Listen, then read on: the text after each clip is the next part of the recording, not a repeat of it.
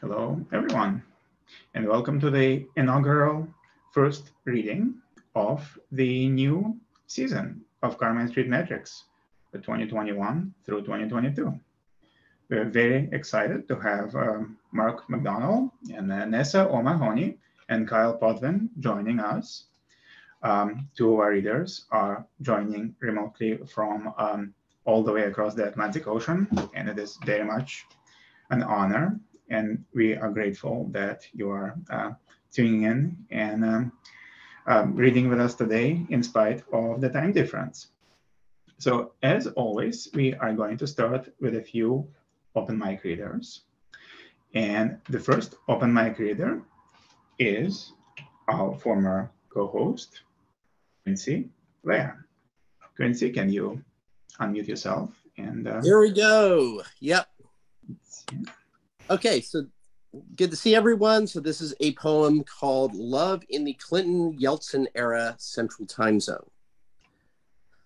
I saw her at the end of history, a manic pixie dream girl in black hat, a smile of adolescent irony hanging like an imported cigarette, a denizen of corners. As she sat off to the side, I stared. The smell of sweat, Doritos, and the Oklahoma air, sweet and allergic, hit my nose. I didn't sneeze and held a pensive pose a Walmart of a decade. Grunge CDs about to hit the bargain bin, left stranded like hapless Soviet cosmonauts. The breeze reminded us that time, like space, still moved. The wall was down, the eagle long since landed, and we were told that nothing could be improved, that this was the teleology, the sum of humankind's equation. Cue our laughter at a light spent in the morning after. Never trust a hippie. Punk was dead, and there she was in her Doc Martin boots, with chin length bangs and a partly shaven head, and me in clothes and hair of mostly black. The latter, though, showing some brown roots. With nothing up ahead, we both looked back and somehow found each other when we did. It's no way to travel, nor was the way mapped out for us. Another summer day, another night. The party was a bore, though everyone was there and every room echoed with conversations you could score a few hours in your head if so inclined. An afternoon tale of special woe and doom, erasers in the center of your mind, or just a gacked out evening passing time with tabs of LSD or skunk swag weed, mushrooms, alcohol, or trucker speed. Brown hair and gray green eyes, a high cheekboned face, insomniac intelligence, a joke she told herself running in a race between the glimmers of her glance and lips. I sneered, though fuck knows why, and lit a smoke. Arrogant from lungs to fingertips, the dumbest smart guy in the room, but still she followed me outside. Cue the blurred memories of teenage passage stirred. Ambition needs a narrative, an arc, rising action, climax, denouement. And what we had was groping in the dark, along with books we partly understood, discussed across a coffee and croissant some mornings. Good enough, if not quite good. Understanding is the bonus point. Experience itself the pass and fail. The revolution, Jonah and the whale. I got the girl, or for a while at least. Mazel tov, yippee ki Behold the bread and theorize the yeast, but know that when you eat it, that's the end. Right into the sunset. What the hey? History wasn't over. That pretend conceit was soon demolished. We were too. I wouldn't say I miss her. The debris remains beneath, and archaeology reveals the substrates, relics of a life rebuilt on top of ruins. As I drive through a different city, kids and wife await me as the radio plays a song I barely liked but heard back then alive, but not like this, when summer seemed so long, when love was hard and love was what we had. I changed the station, hum a melody that sings out past the end of history. Thank you so much. Thank you so much, Quincy. Our next open mic reader is Gena Gruz. Gena, can you unmute yourself? Yeah. Anton, thank you very much for inviting me. Um, I would like to read a poem called Delphine. Delphine. In pajamas, chewing a slice of bread with jam, I hear in the background Pearl Jam.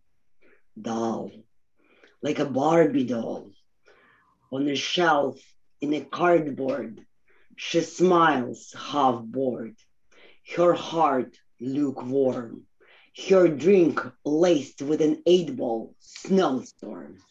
Her demeanor is deformed. This bleak, lacy winters in Oz looks laced with ease.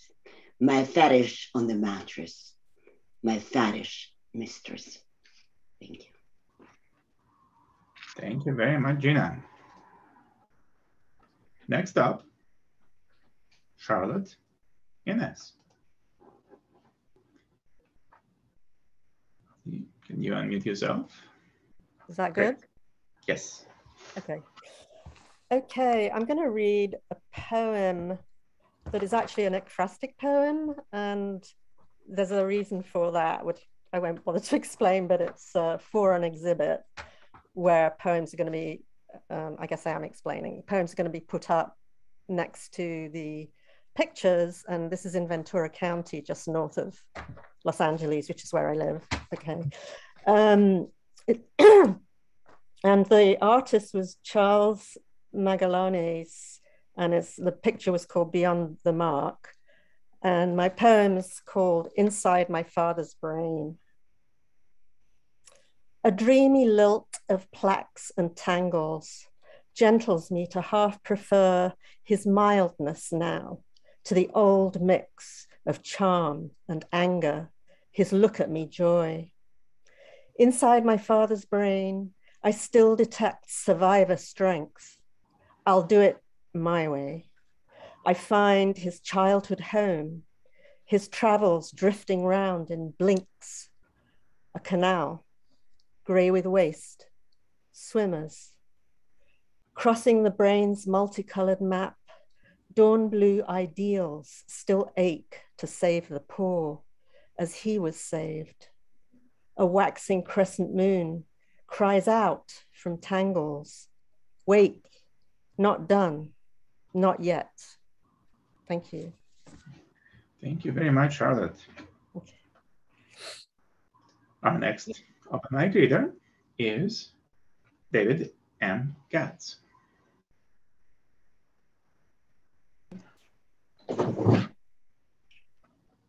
Thank you, Anton. I'm going to read a very recent sonnet uh, that's going to appear in the Raintown Review, thanks to Quincy, uh, a man of taste. Um, it's called Are You Still Drinking, Dad? Are you still drinking, Dad? He wouldn't say at first, or rather, couldn't. I'd never asked, and he may have wondered if he'd got away without the need to answer for his lapse. I thought it was a decade since he'd quit. It might have been. He might have had one shot, a rise, a rye to ease the future shock a bit.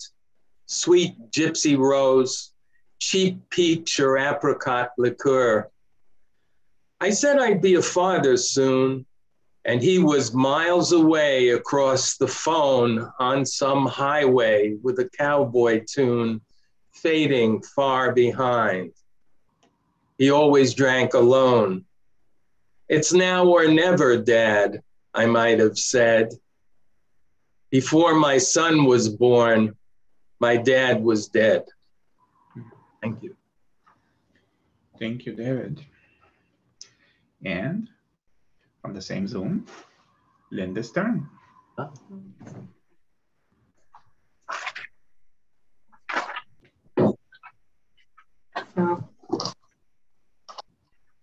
musical chairs. Uh, uh, the, um, the title of this poem is Dining Alone, my book.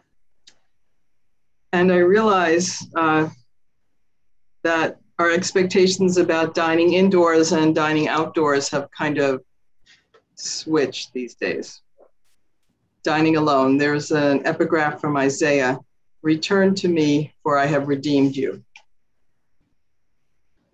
In my own city, I never dine alone in outdoor cafes, preferring the discreet anonymity of dark recesses to hide my blunders, social, spiritual, from itinerant friends, acquaintances. The party I missed, the morning not at work, or today, the holy day, when I should be sitting in the pew, shriving my soul, seeking out the light behind the eyes, the deep charge of blessing, return, or at least the dream of return.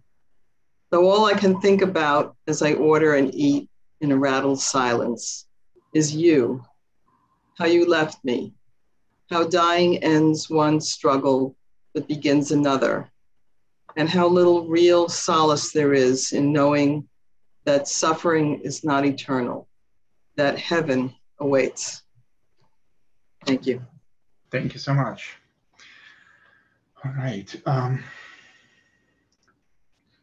so this time, I'm delighted to introduce our first feature reader. Mark McDonnell lives in Staffordshire, England, with his wife, his teenage twins, and two cats. He taught English in secondary schools to 11 to 18 year olds for many years and now works as a supply teacher to anyone who will have him. He began writing poetry in his early 40s, and uh, he has been published in various journals, including the Dark Horse, uh, Think Journal, Antiphon, Measure, and others. And recently appeared in the COVID-themed anthology poems for 2020 from Shoestring Press, edited by Marianne Williams. And it is our pleasure to welcome Mark.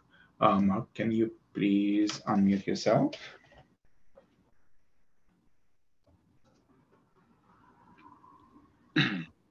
yes. Can you hear me? We can. Yeah. Right. Okay. Thank you. Uh, thank you, Anton. Thank you so much for having me. Uh, I really enjoy doing the open the open mics here, and this is a real honor. Um, so I'm going to read a few poems, um, see how many I can get into 10 minutes. Um, so this first one is about a bunch of ne'er-do-wells and it's called Smash and Grab. I remember pebbles on the drive like bird's eggs, shiny, clean and white a porch with frosted glass and five wee cacti of descending height. Huddled, we crouched around the door, hushed in the dark on Primrose Way. Shorn in those dungarees he wore for rabbiting and mild affray. We wrap the spanner in the rag, then crack and reach around and in. I wiped my boots. John lit a fag. The room was warm, like a biscuit tin.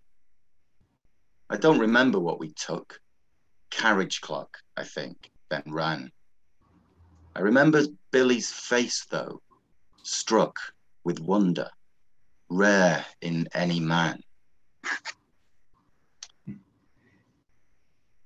Um, this one is a kind of a children's skipping rhyme. New Girl. Holy Mary, buckle your shoe. Pray for us sinners in the hopscotch queue. The backs of your knees all lined and taut, and the puffball skirt that your stepdad bought. A flame like a teardrop slides down your thigh as you hop, jump, hop under thundery sky. Who is your favorite? Gobstopper Joe. Who knows your middle name? Nobody, though.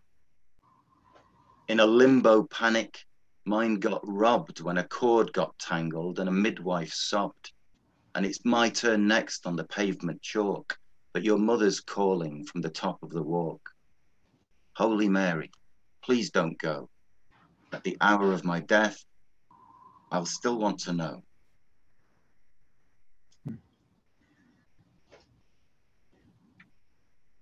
Um, okay.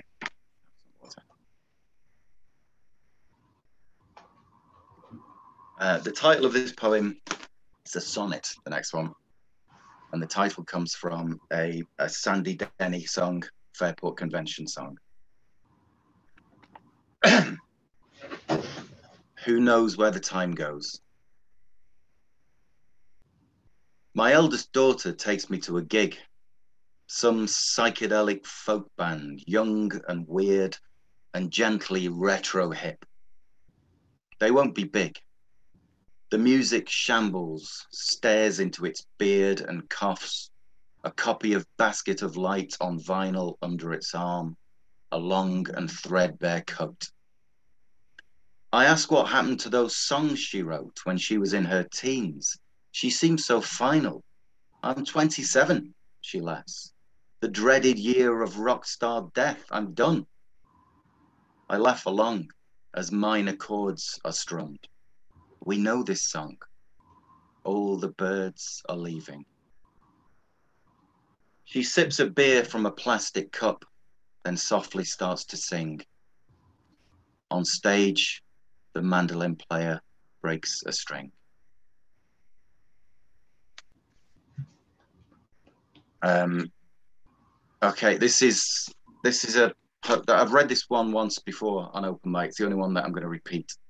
Uh, so this is this is from the in the from a child's perspective. It's written in the voice of a child, and it's about something that somebody probably didn't deserve. Spuggy. He's up by the rope swing tree in Duck Egg Wood where Nolan carved the F word. I know him, yes, we call him Spuggy Joe. He'd hand out Spug to all us kids. See, Spuggy's like our word for chewing gum. And then he'd grab to kiss your mouth and hold your wrist and tug your hand towards him, and you'd feel it like a rake in a baggy sack, chewing, chewing. But most of us said no, and we'd tell our mums, and they tell other mums and all would look like thunder, like there's more than tea that's brewing. I felt it coming, like someone banging drums. I told the priest about it in the booth. I hate not knowing whose it is, the face behind the slatted wood. You hear them breathing, see the shadow nodding. Father Firth, well, he's all right, but Father Cole is worse than Spuggy Joe, or so my mate said creeping around backstage with the altar boys, a monster with a monstrance, a dirty cassock lifter. But we didn't want him hurt. You best come now. He's lying there against the tree, a mess, sir. I think he tried it with O'Regan's sister. I think he tries to be nice, but doesn't know how. Thank you. Uh, this one is in, I've got three left. They're all fairly short. Um, this one's in Sapphic meter, which uh, for the knowledge of which I have to thank uh, my good friend Mary Marion. Well, she didn't invent it. That's somebody else. A long time ago. But uh, I would never have, have heard of it or been able to use it if it wasn't for her. So this is a this is a, a, a Sapphic and it's called Carnival. Even in the schoolyard, I think I knew, yet gripped the heavy promise of pails of sunlight, shining plasma spilling down rusted metal, splashing on pavements. Turning slow in trampoline light and laughter, paper monsters dance on their clipper fasteners. All is breathless joy, and you said you'd meet me by the tombola. Ferris wheel, come turn for me, times are flying. Waltzers waltz me faster and blur the houses.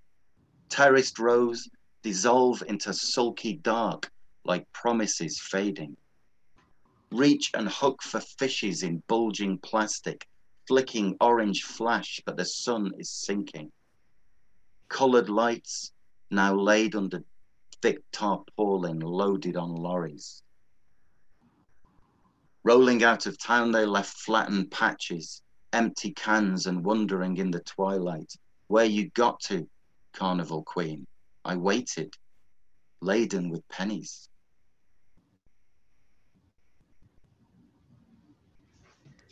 Okay. Um, this is an this is an Easter poem in October. Um, it's called Green Hill. Stumbling up this English hill, the wind can make you fall three times. Their faces lashed, my children laugh and grab each other's coats. The town lies far below. And eggs are painted bright and boiled and pierce our palms with brittle cold. My daughter says, So is the egg the sealing stone? Well, I don't know. We roll them though. It's new life springing, I suppose. All is gone for them and me, but ritual. Still, the draw remains, the lure of the other hell, the skull. A face as pale as unleavened bread, but shadowed by the shouldered mass of two hewn hulks. His own trade mocked him, led him on and upwards to the final crux of things, wobbling through a blur of blood. So many must have felt they've stood where he was said to stand, heard jeering undeserved, sucked bitterness where brimming wine should be. Poor me, take the cup, they know not what. A church bell rings, and out of sight the eggs roll over the grassy brow. Our palms feel lighter. My son says, Dad, do we get chocolate now?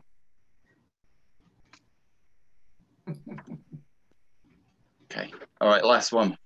I don't know how long I've done, but this, this is the last one. Perfect. Um, okay, this is another sonnet, and okay, it's set during my dad died about three years ago, and this is set during the the wake in the pub after the funeral. Now it describes a trick, um, and and I'm going to show you the trick. So you put pennies on your elbow, and and you flick and you catch them. See like that.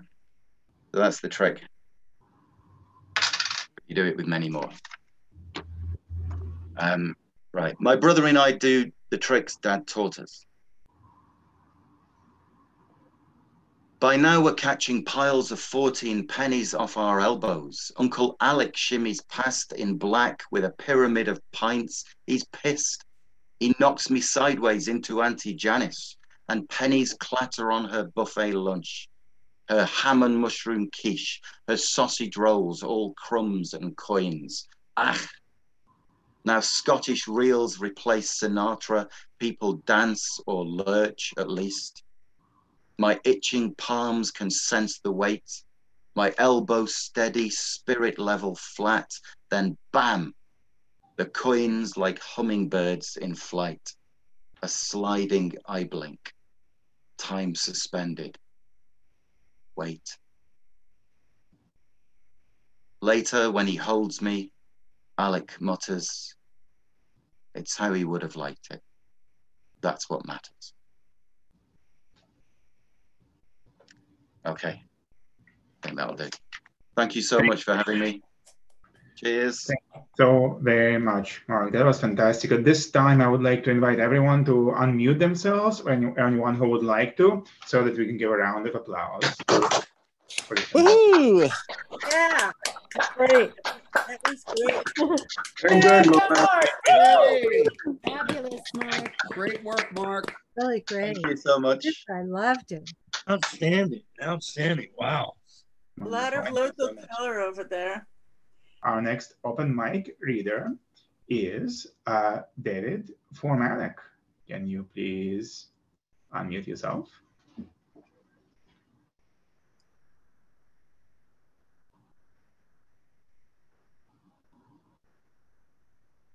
There we go. Hi, everyone. How good to see all of you again. Um, and uh, I just can't make up my mind. So here we go. Cochleogen- cochleognosis. The army of the proverb marches on its stomach. What does the snail know that eats with its foot? A whelk drools acid on a scallop, lapping through the borehole with a searching, barbed tongue. Thoreau metaphored massed ants fighting the revolution. Periwinkles rasping algae from a tidal boulder act alone. A snail's life, that's its form. It's lived inside geometry for half a billion years. Easy number words, hard to coil a mind around. Consider how we live in squares, pacing cubicles and concrete blocks of flats. Designers ponder over curves or corners, ordered form or ad hoc extension, the lobate sprawl of mold and glacier, or willful rigor of linear measure. The snail grows outward, always churning, infilling a widening spiral of lime, a machine to live in, graph of existence.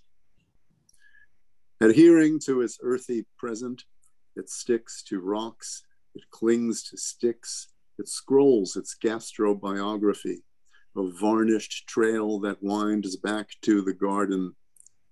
Stalked eyes discern vague shades of blur while gliding over turf or underwater, growing cell by cell, a tough or fragile shell, eating on the slide. It never knows the hell of human aches that only humans make. Can the snail know its own perfection? Thank you. Nice. Thank you, David. Our next reader is John Foy.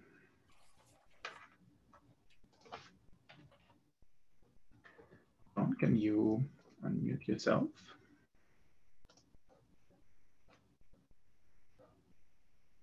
Anton, is that good? You can hear me now? Uh, we can hear you, but I cannot see you. I don't know if anybody else can. Right. Your I screen I is. I can't Well- quite figure out what's happening there, but you know what? It might be better that you not see me. Um, so I will just uh, Okay. speak, right? You don't need my face, you just need my voice, I hope. Yeah. Sure. Okay. Um, so I'm going to read a poem. Um, it's called Mania, and it's about various types of mania, and it employs words that um, that designate compulsions and um, unnatural enthusiasms. Um, so there it is, mania.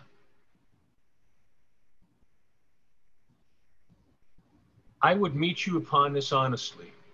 I am sick, but not with cacospectomania, the neurotic staring at repulsive things, and not with coprolalamania, that hunger for the scatological. And dipsomania, I don't have that, the morbid need for steady alcohol. But let me circle back to you on that. I don't go around with empleomania, the insatiable urge to hold public office. And lagniomania? Well, I declare I am not preoccupied with lechery. My problem here is metromania, the catastrophic need to write in verse. At least it's not ophidiomania, an excessive interest in reptiles. Thank you. Thank you very much, John. Our next open mic reader, uh, reading for the first time uh, with us, is Angela France. Lovely to be here, and it's lovely to see some faces I've only known through Facebook so far. So I'm really looking forward to coming back in March as well. Um, I'm going to read a poem from my newest collection, Terminarchy, um, which came out in July. W.H. Auden famously said, Poetry makes nothing happen. Poetry makes nothing happen. Let it make nothing happen more this year, so that a young girl whose mail arrives early can read the book she's waited for over breakfast and find the poem with blue depths and points of light, she tastes in the back of her throat on the way to work, and walked a little slower than usual, so that nothing happens as she crosses the road, because the guy in the four-wheel drive, who was answering a call on his mobile, already passed by.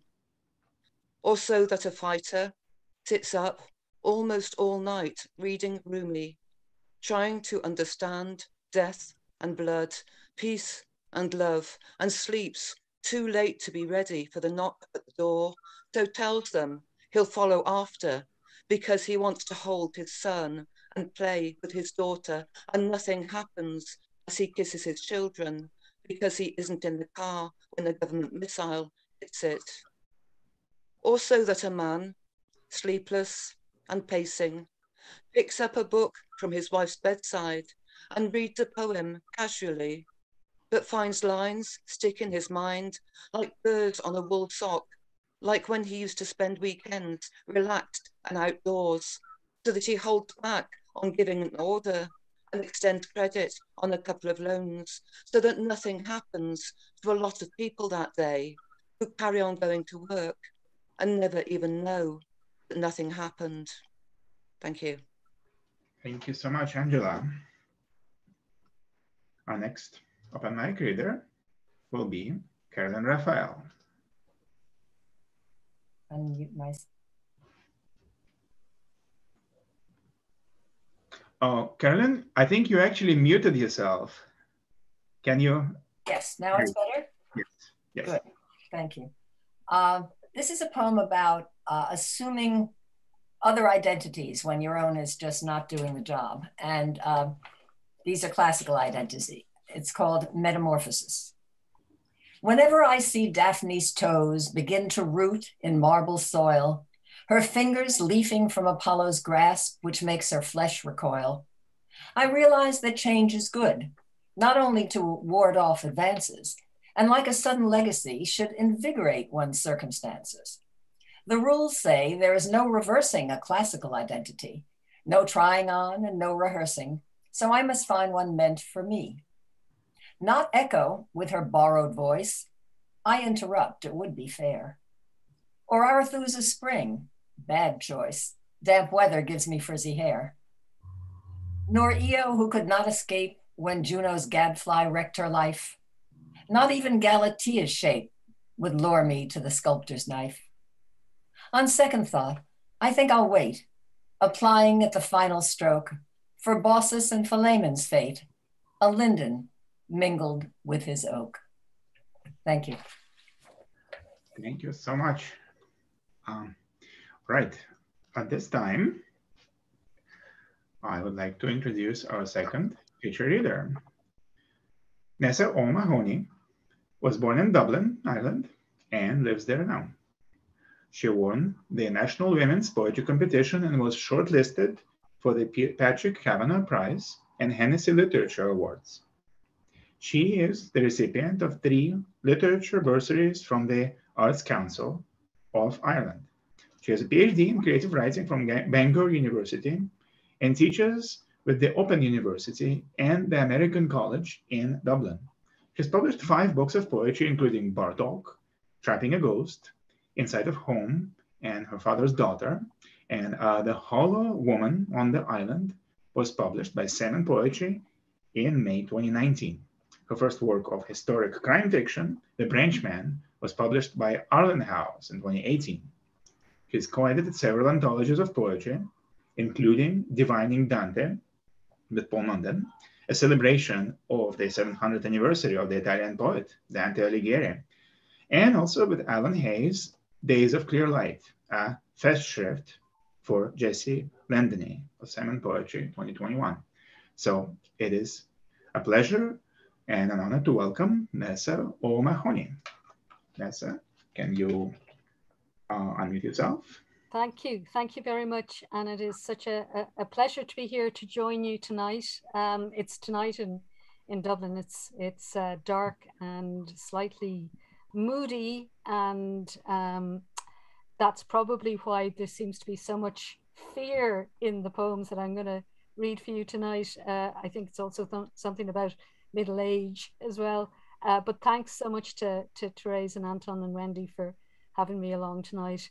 Um, the first poem I'm going to do for you, I probably need to explain that uh, Roger Casement, who was mentioned, was a, an Irish revolutionary who was executed by the British Army uh, in 1916 because he was caught trying to import arms. And in 1966, he was exhumed and reinterred in Dublin as part of the, the 50th anniversary of the Easter Rising. And the other thing I should mention is St. Michan's Church in Dublin is um, it has a uh, medieval mummy, uh, a knight, a crusading knight. And back in the day before uh, health and safety regulations, you were invited to shake the mummy's hand for good luck. So those two things are, are referenced in this poem. Bogeyman.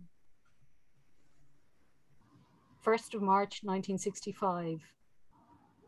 When I was one, they resurrected him, dug up the scraps of bone from Pentonville quicklime, packed them in oak, draped flags, slow marched the gun carriage through sleety 60s streets. Snow flickered images on our TV screens, huddled crowds signing as the carriage passed to the beat of Charles Mitchell's sonorous tones, Requiem in Pacem. Did it come from this, that first terror? Did I confuse casement with the Michan's mummy? Think his Glasnevin tomb must be visited, a crusty hand shaken? Was it he who made shadows darken on the landing, exert a gravitational pull through the doors of the upstairs landing to the wardrobe where the bogeyman hid, till displaced by whatever fear du jour gripped me bonily? In the 70s, it was tubular bells that lower temperatures, heightened sheets. Each decade found its own vortex of imps straddling chests, white mares snorting. It ends with the banality of a waiting room, a dead celebrity waving from the cover of an old hello, a raised bump beneath skin, a white draped man scanning penumbras on illum illuminated screens. So, yes, a fearful time. Um, the next poem is called A Vertebra in Slow Time, and it's for the poet Geraldine Mitchell. It could be a Henry Moore propped by the door in sun bleached calcium, mossed saddle, emerald bright, topmost point of its tricorn casts shadow on the plastered wall. The ovoid gape where the spinal cord once ran is a perfect eye of whatever storm beached it.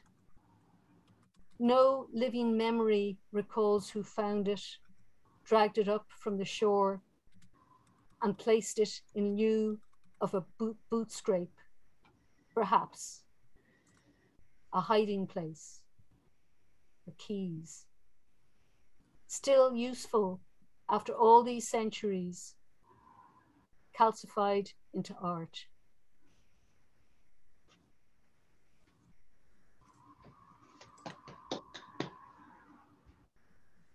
This is when you realize that you've set your teleprompter to go far too slow and then it goes far too fast. So we're kind of stuffed here. Um, this next poem is for a uh, very fine Irish poet called Philip Casey, who died in 2018. And when he died, we were actually in London visiting um, and involved in a, a, a poetry launch. Um, and we got the news of his death. And suddenly it all seemed to be about echoes of that. So it's called Do Not Ask. We didn't plan for it, but these past days we've stalked death as we've wandered streets, looked up at domes, tried to remember the past without Googling it. Skulls everywhere, on market stalls, behind mm. glass in the Ritz of Burlington Arcade, bells tolling the footfall. Then the pink room, where Keats spotted red signed his death warrant in a four poster bed. And here, now, returned to our borrowed bed in the shades of St. Paul's, we take our beat from the chimes till the phone beeps with the news. You'd have seen the joke. We're always the first to try out new technology, to match it to old words. Another bell, and I know for whom it told, old friend. Still very much missed. Um, Philip Casey did a huge amount for a lot of, of, of Irish writers. And I mentioned Keats. Um, this year was his 200th anniversary. Um, so this poem is called The Lost Nightingale. Not a word of a lie. In Carton, May 1955, the dawn chorus swelled by a new voice that warbled through the dark hours of a Kildare plain. As the sun rose, it thrilled 1,000 grace notes, startling thrushes out of tune, bemusing blackbirds. Would a pip, would a pip, went the unanswered call to fellow travellers who'd left sub-Sahara, followed the trade winds back towards haunts in Mayfair and Oxted, to once again sing for emperors and clowns. The solitary blow in, drowsy and numbed by an Irish summer of late sleet, bare beaches, finally rose, buffeted on prayer and wing towards the Wicklow coast, casting little shade as it passed above fields of alien corn. This next poem um, I actually wrote in memory of a man called Josie Gray, who was the partner of my good friend, the American poet Tess Gallagher. He told this story um, called The Hair on the Chest. So I wrote it for him after he died. The Hair on the Chest. A regular from your repertoire. A man walks into a field, watches a pack, their baying the zigzag chase of a breathless hare, its desperate leap of faith into the dark gap between the man's coat and chest, how he feels its heartbeat, holds his ground as the hounds surge. The crowd now follows your coffin, edges the incline towards Ballindoon Abbey, pauses to look west as low clouds roll over the water and the lake's own breath is exhaled. There are murmurs, families well met, old friends remembered, enmities forgot. You're laid to rest, snug on the hare's chest. And this next poem um, is uh, from my most recent collection, The Hollow Woman on the Island, and, and it's the, the title poem. The Hollow Woman on the Island. The hollow woman sits in her car watching the sea lick its lips at the edge of the pier till the sides of the car disappear and the windscreen dissolves into waves and grey crests, drawing her into depths she has dreamed of nightly. She does not float, despite the vacuum inside her. She rolls, edges rounded off by the water's oscillation, till she's smooth, buffed into ovoid shape, tie tossed onto damp sand, sand to be plucked up, pocketed, placed with care on a mantelpiece, the grave top. And then um, continuing this theme of, of losing one's nerve, I suppose, um, this is a, a recent poem called Things for Which There Is No Longer Purpose. It takes time to get your eye in when beachcombing Stones merge, little distinguishes itself from shingle, pell mell debris of tides on the channel between this side and the next. You need to keep your glance down, let the slow rhythm of step after step, pebble after rock after pebble, give distinction. Let shapes emerge and form into sea glass, shells, gaping crabs, innards violet. The urge grows to find patterns beyond the Fibonacci cockles. Why this search for meaning? What can this nibbled lid of a ceramic coffee pot tell me of accident, of transience?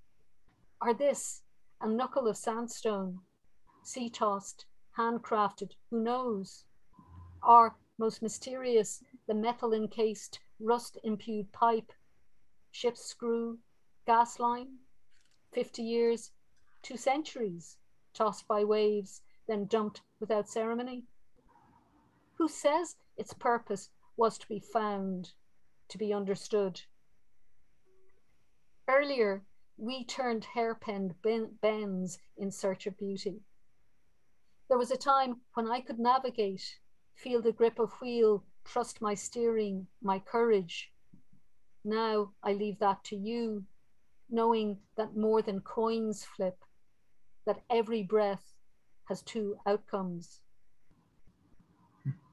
And I'm going to finish with this poem, um, which was written in Easter 2020. So it references this strange uh, crisis that has afflicted us all. It's called Bás in Éirinn, which is uh, the Irish for death in, in Ireland, and it would have been a toast. Um, people, Irish immigrants in particular, would, would uh, greet each other. Um, Bás in Éirinn. Bás in Éirinn, Easter 2020. From her social distance, my mother points to a six inch cardboard tube she found in a bookcase in those long hours of quarantine. I can't open it, she says, yet her face tells me she has, has already read the messages on this Dead Sea Scroll from the people we were once. We could still congregate then, made jokes, dashed down our thoughts on the parchment the government gave us with the Millennium Candle. My brother wrote Bás in Éirinn. Not knowing he'd take him at his word a decade later, my father relied on his old favourite, Gemeramid Bio, which means, may we be alive this time next year. Hmm. When he died alone, we were still sleeping. No screen divided us, no latex glove held his hand on our behalf. Is anyone death better than another? These days, we are careful what we wish for. Mm. Thank you. Wow, thank you so very much, Nessa. Um, that was amazing. Um, again, I would like to invite everyone to unmute themselves so that we can applaud for Nessa's reading.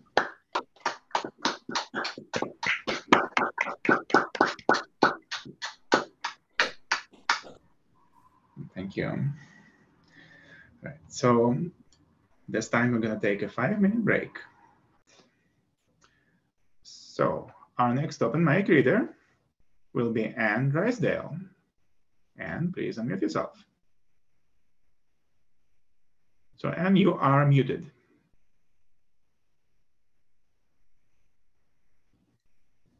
There. There Are we all right now? We can hear you. Yeah. All right. Well, I'm taking a bit of a risk here because I'm going to read an ekphrastic poem um, without being able to show you the picture that it's based on, which is a medieval altarpiece depicting the baptism of Christ by uh, Niccolo da Pietro Gerini. And I saw it in the National Gallery, and there was one thing that particularly caught my attention. The poem's called How Beautiful Are the Feet. Jesus is tall. John has to really stretch so as to tip his terracotta pot over the high head of the Son of Man. God's chuffed. He's just let go the Holy Spirit to send it plummeting headfirst from heaven. The kamikaze nosedive showcases its silly feet. Two brown banana skins that stick out sideways from the fuselage, making me laugh out loud. Oh, Niccolo, what a fine thing to offer to the Lord. God's good at feet, a whiz at finishing the legs of birds. I've always loved the gnarly grabs of irritated chickens, the whisker digits of the wren, the soft, underdeveloped token feet of swifts. I grinned a bit at the lobed toes of coots until I watched one running on soft mud with her umbrellas spreading underfoot to take her safe across the top of it, turning to oars as she launched on the water, On the beaches of the Galapagos, the booby shuffles in his blue suede shoes as though nobody but his love is watching, despite the shadows of the looming cruisers and the susurrus of the clicking twitches. To each God gave according to its need, regardless of the flocks of jeering hooters. Lord, may the six feet that I end beneath lie light as those that have amused me most the coot, the booby, and the Holy Ghost. Thank you so much. And uh, I'm glad that the audio worked out for you after all. This was worth waiting for. Uh, thank you. And our next reader on the open mic is Meredith Bergmann.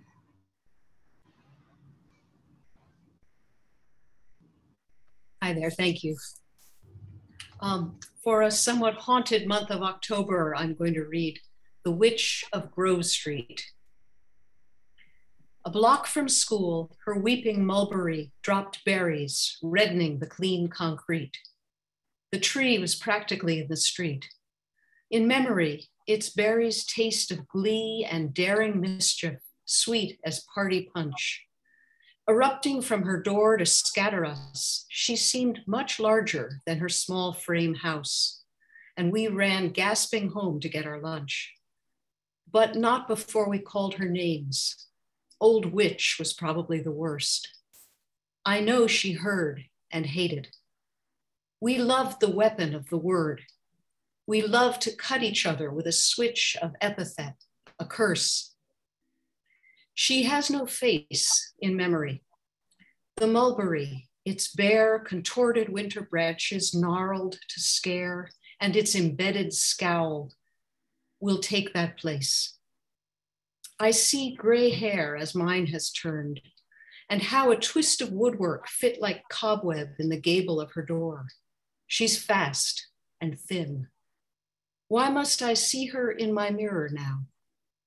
as if her tree, its Gothic attributes, are now engraved in my expression, stripped of its sweetness, forcing me to question how I will best protect my fragile fruits. Thank you so much, Meredith. Next open mic reader is R. Nemo Hill.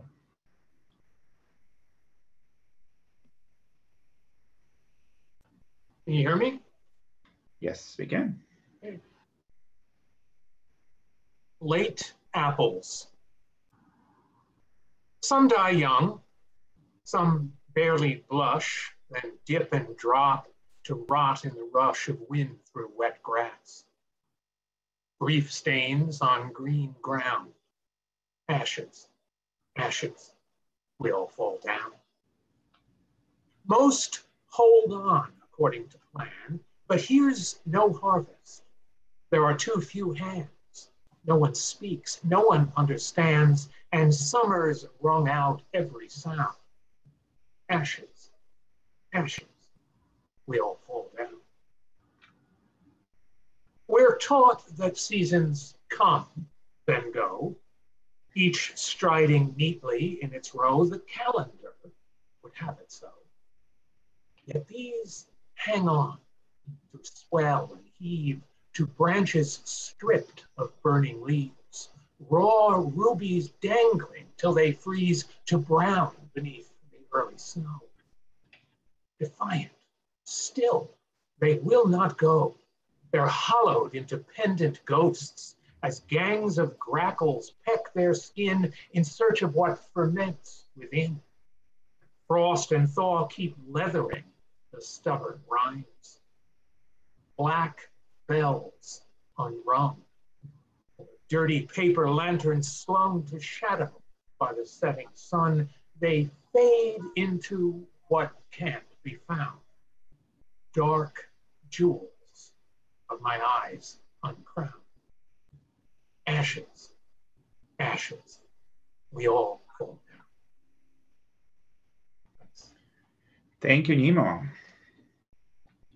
And the next open mic reader before I introduce our third feature is John Wall Barger.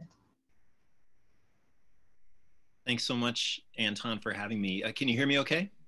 Yes. Uh, yeah, hi everybody. I'm enjoying the reading enormously. Um, I'm in Philadelphia uh, next to Clark Park, and outside I can hear these this deep drumming kind of drifting in through the window. It's very nice. Uh, I want to read a poem called Self Harm Song. So here it is. Once, the day I met a woman, she showed me her upper thigh. Deep red rivers ran across it. She lives, she explained, in the black stream beneath perfection. What, she said, cut, if not yourself? Such a release, it just feels right. Some of us barber ourselves as show mice do, nipping and licking our fur till it peels off like a hay roof in a hurricane. Some caged birds pluck their feathers, mutilate their skin. You sense, as the knife sinks in, the ancient laughter howl of outrage, pulse beat of the world. It hurts, but is honest. Sid Vicious knew it. Eunuch priests, too, self flagellating on the day of blood, dies sanguinis, eyes rolling in fever dream parodies of Christ. Oh, self harm goddess, part phoenix, chained and flaming, touch a cataclysm, heart a crucifixion. Chimera of humi- humiliation, release us. She responds, daughters, sons, other ones.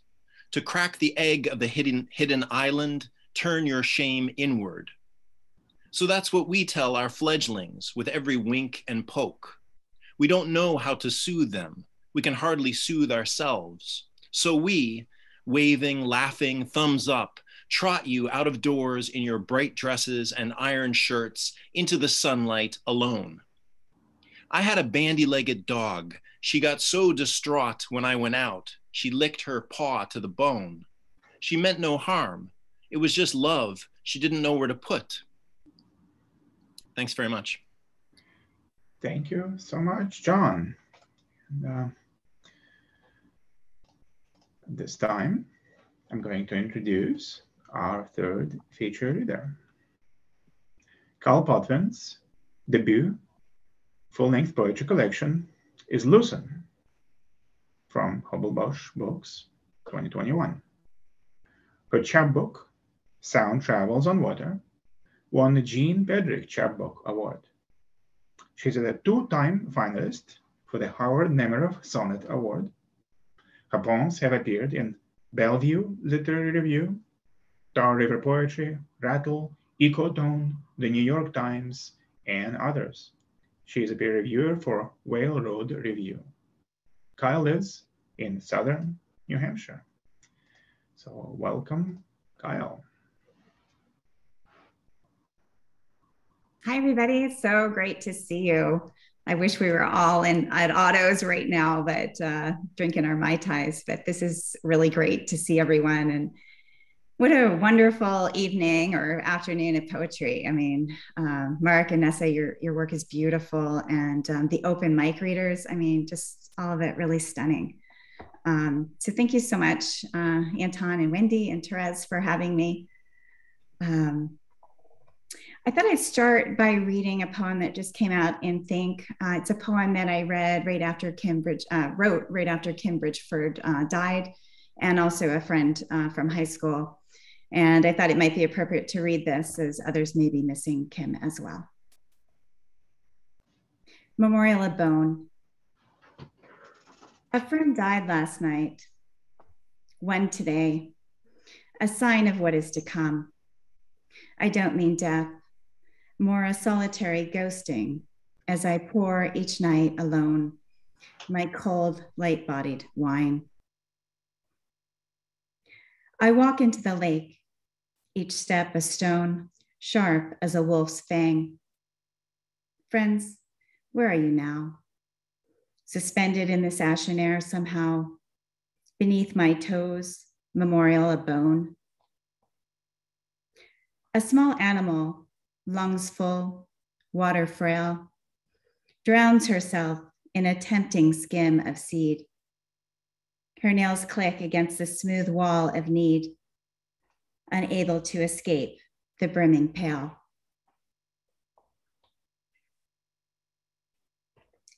I'm going to read a longer poem from my new collection that Anton just talked about. It's called Loosen, um, is the name of the collection. And this poem will give you an idea of some of the themes that are in there um, around illness and loss um, in New York. And uh, I like to think hope. And this is called Going Under. It's in four sections in blank verse going under. Each week, they hooked me up and dripped a drug into my vein that took me to a world where everything was gone no light, no sound, nor even recollection of a breath. I didn't mind the drifting off, the loss of faces loved and those I barely knew, or words, the way they failed me, like a plunge in icy water stops the heart mid beat. I sat beside a woman several times, our chairs reclined, IV pole standing guard. We talked of books. She handed me the one she read, its famous author, her good friend. As I accepted this last gift, my tongue softened into clay, a potter molding it. I think I hope, I said, I'm going un. She looked as if she envied my escape. Two, I walk into a dive and sit alone, another formless body at the bar. The others stare until I start to drink. They soon forget I'm not a regular. I sink into the stool, no history, I could be anyone from anywhere. Hint Do you know my mother's maiden name? I scratch a K into the wood and leave. Outside, I disappear again. The streets are full of people wearing black. I blend in with my monochrome, long jacket, jeans, and leather boots. An average looking girl. No threat to anyone, just don't look up. They'd read a novel in my eyes, blue eyes. My parents both have brown, a difference, it seems, that only I have cared about. Three, my doctor recommends a restaurant. Hungry, my family searches for the site. My tongue can taste branzino from the grill, tomatoes, olives, spritz all aperol. The decades passed, since t- 10 years since I was sick, and 30 since I first explored this place. Those years, I felt the need to leave my home and disappear into another life. These streets could hide you for millennia. The aqua alta washes clues away. My sons are almost at that age. They're here, but soon they're on their own. Will they return? We lose our bearings in the alleyways. Ahead, a wooden bridge may take us there. Wait, I say, and cross the bridge myself. I see the way. I wait for them to come. Four. The beach chairs, empty, line the spit of sand. They watch like critics poised to write reviews. My number soon will come. I follow loons, their ballet anguished with their mournful call. One time I knew each step of their routine, but now I'm bored and scatter them away. I wade in noisily. Small rocks don't hurt my feet. I dive, emerge, and start my dance. A practice breaststroke comes to me from pools and lakes Thai klongs, and seas. I am surprised it is a welcome thing, the way the muscles memorize the past and share it differently. I float onto my back. A kick, a wave of fingers steadies me. The glare's not harsh. A rush of water drowns my face. I gasp. Now's not the time to fall beneath the waves.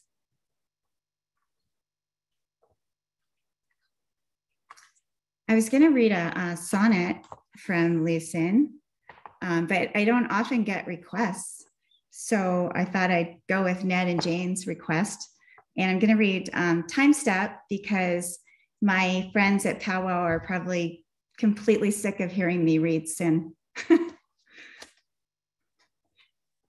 Time Step. A leaf or frog brushes against my lane, hops across my lane, dances across where it is dark and I can hardly see.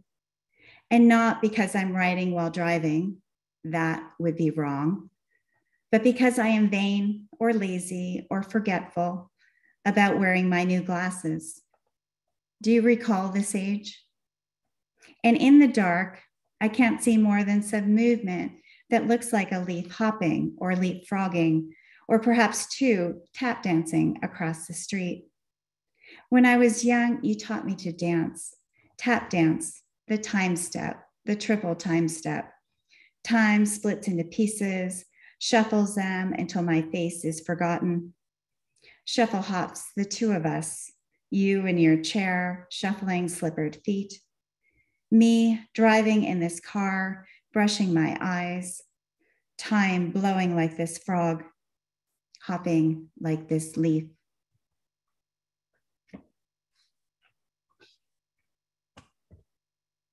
And I'm going to finish with one last um, poem. That's a newer one. It's uh, it was in um, COVID Spring, which is a anthology for COVID um, poems. And um, don't tell, but I actually wrote it before COVID, and it was called "At the End of the World." And then COVID happened, and it just seemed to fit. This is called Late in the Pandemic. It's a duplex, which is a form created by Jericho Brown. And um, if you don't know the forum, you should read his description of kind of how it all came together. Late in the pandemic. We cook on the beach now, weeks with no power. I bring flour and salt to ration flavors. I bring flour and salt to ration flavor, currency in the form of biscuits. My neighbors slay deer, my currency, biscuits. Once I thought of learning to build a fire. Why didn't I learn to build a fire or grow potatoes or milk a cow? I crave grilled potatoes, milk in my coffee, now I must eat whatever remains. I saved one pan to prepare what remains. Someone has kindly kindled the flames. Someone shares water for dough, pan on the flames. We cook on the beach. We have no power. Thank you so much. Thank you so very much, Kyle. Um, that was amazing. Uh, please, everyone, unmute yourselves if you would like, so we can all applaud.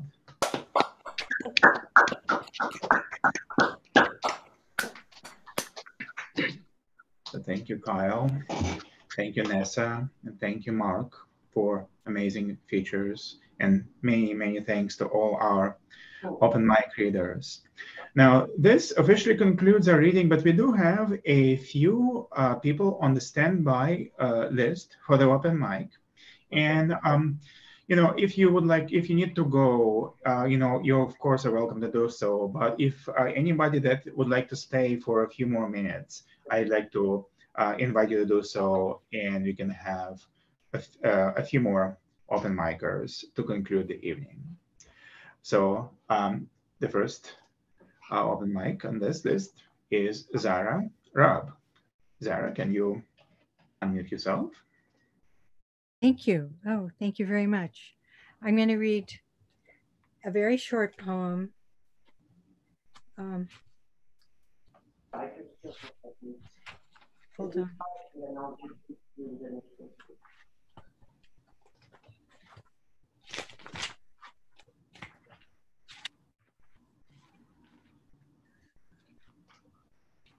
Called the Poet's Graveyard. Um, the reason I'm, I chose this poem to read was because I just heard that uh, the, Sa- the San Francisco poet uh, Jack Hirschman, some of you may know, has died. Uh, and uh, this poem is called The Poet's Graveyard. I, I was thinking of him. He was he was a wonderful poet in his way. Uh, miss him. Poet's Graveyard.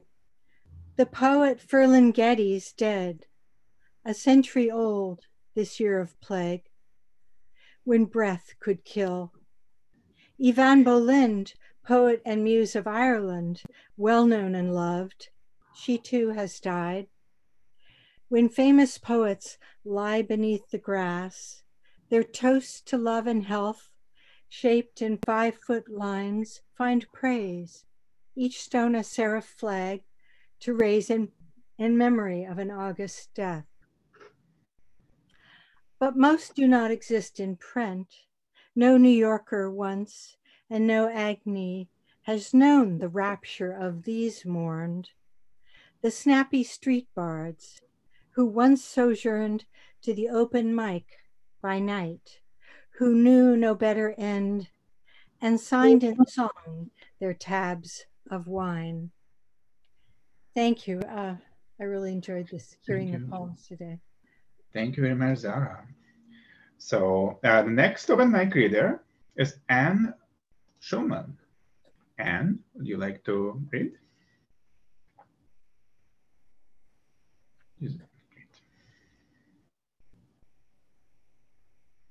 A little bit of a surprise, so I didn't have any particular thing prepared.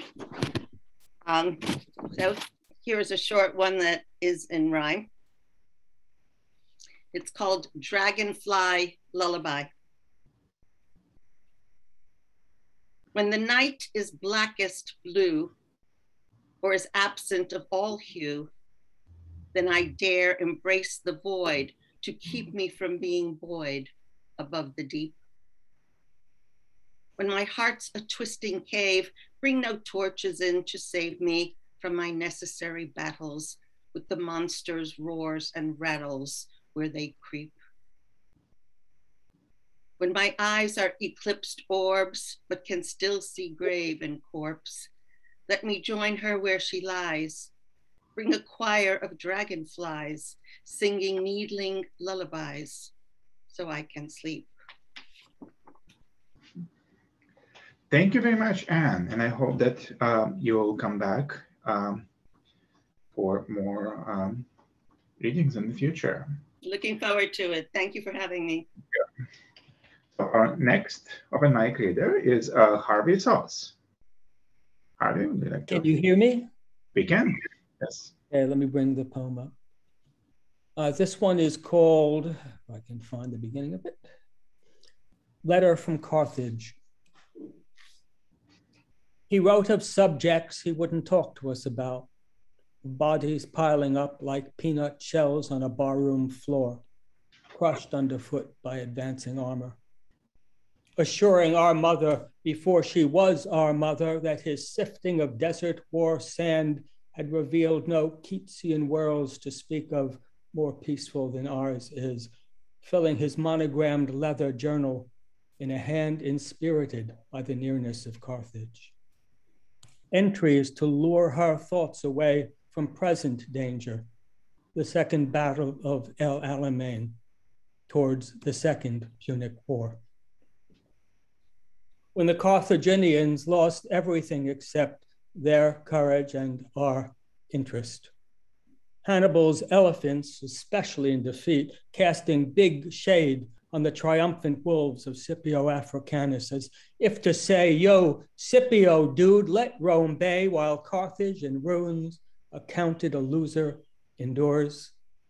preeminent on the hearts and minds of not so Rome centric historians and the romantics among us, poets of a certain bent in theses of Punic War specialists, like that hapless football team you wouldn't bet on but just can't help rooting for. That my father, not Yet my father was a fanboy of Carthage, as he was of my mother. Dug a foxhole, we shared and still share our deep love of family and history. The pharmacist in peacetime, in letters unseen and unsent, he served up fresh prescriptions for adoration.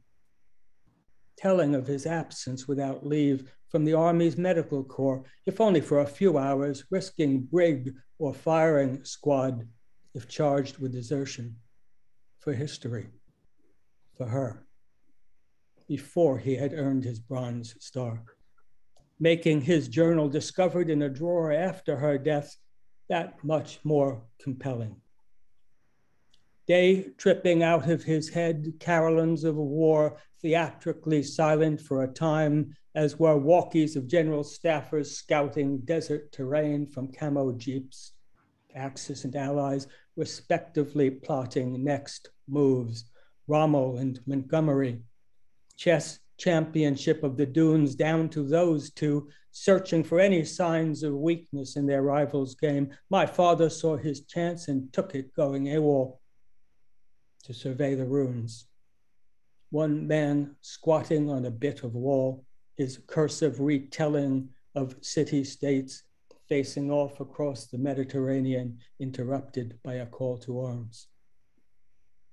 Around the hip curve of North Africa, battle weary men fought and fought again, as in the Punic Wars, the Axis's hope for world dominion foundering on Maghreb's shores. In the brief interludium between tank engagements, conflict having boosted the value of prosthetics manufacture on the stock exchange, with arms and legs flying off more often than allied sorties, my father described taste testing a pinch of sand for some hint of its signature saltiness, the rot beneath the skin of bodies left too long in the sun. The spot he was in having seen too much death. Thank you. Thank you so much, Harvey. Um, we have two more readers. Uh, next up, uh, Peter Krok. Peter, would you like to read something? Sure, thank you. Um, from my book, Wounded World. Aren't I unmuted?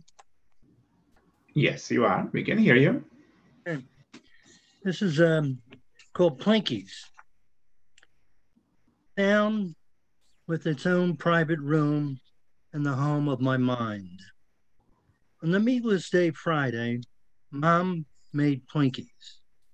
I peeled out the eyes and brown spots, then grated the potatoes on the yellow kitchen table I scraped until there was the smallest piece, about the size of a half used bar of hotel soap. Often I scraped my knuckles against the grater and traces of blood would come into the soupy batch. Yes, my blood would seep into the bowl, and I think a part of me is here. Mom would mix two eggs and flour in the batter to give the mixture body. Put less than oil in the pan, heat the pan until it sizzled. Then pour the potato mix into the pan. When she thought the underside was rusty brown, she turned the potato pancakes over and put them on a plate. I'd sprinkled sugar when I was younger and salt when I got older. Yes, my blood is back there in the kitchen of that red brick row house. It keeps weeping into my words until no one will remember. Thank you. Thank you. Thank you very much, Peter. And finally, our last Peter Thank you. is James B. Nicola. Yes, hello, hello, everybody. Can you hear me, Anton? We can hear you, yes. Wonderful. I'm so happy to be finally hearing Kyle do her poetry. She's been so supportive of me over the years and coming to events. And I just wish I had uh, the ability to do one of my poems from England or one of my poems from Ireland. to honor Nessa and Mark, but I'm going to do my latest poem, and so here it is Roadside Distraction. Whether your shrine is for a him or her, a sight can only do what a sight does. The loved one is no longer what they were, nor can they ever be. So we confer a cross, bouquets, some photos, mementos to liven up the last of him or her with still life where the human cannot stir. And now the breathless buzzing of a breeze reminds us they're no longer what they were, nor where. Yet while they're nowhere, they are here. This is one of the universal laws of love and loss of any him or her I've known too well. My loved one's shrine kept fort too long, perhaps. I don't let go because the shrine's the last place who and what they were was. One more law of loss of which I'm sure that love lives on, just not the way it was. But through these living shrines to him, to her, they make us still no longer who we were. Thank you. Thank you so Thank you much. very, very much. And um, thanks to all of our open mic readers. Thanks again, Kyle, Mark, Nessa. Fantastic to hear all of you. So great to hear uh, to have um, all of you here. Um, I think it was a wonderful start to the new season. So I hope that you will join us next time, November 7th. We're going to have Angela Alaimo O'Donnell, Janice Soderling, and David Yezzi as our feature readers. So hope to see you again then. Have a good evening, everyone.